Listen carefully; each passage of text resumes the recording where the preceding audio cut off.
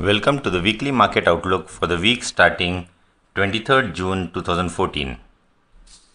Last week was a week of consolidation with a slight negative bias because of the Iraq crisis.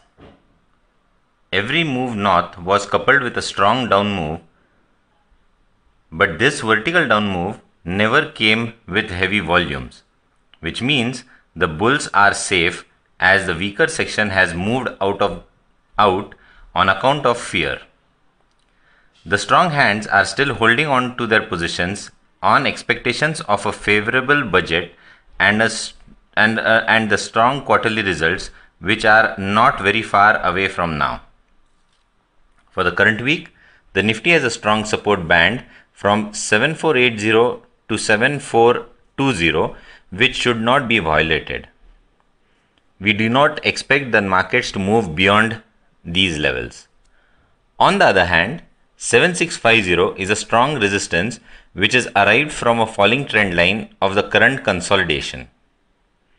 The day we close above this trend line, we should see the markets outperform. Till such time, we expect the markets to consolidate. The more this consolidation, the better for the bulls in the medium term. As usual, sector specific moves are mentioned on the website under the tab from the desk of Kiran Jadhav. Wishing you a profitable week ahead. See you next week. Bye for now.